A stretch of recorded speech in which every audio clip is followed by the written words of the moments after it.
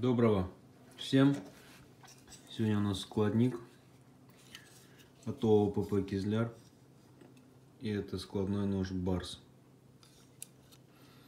Выполнен в очень индивидуальном стиле. АБС пластик корпус. Достаточно такие вот простенькие винты. Вот.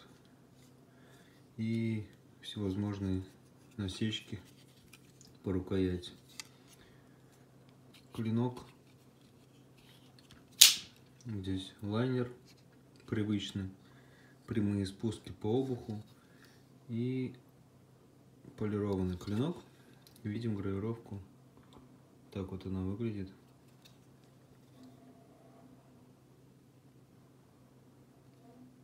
Так видно барс по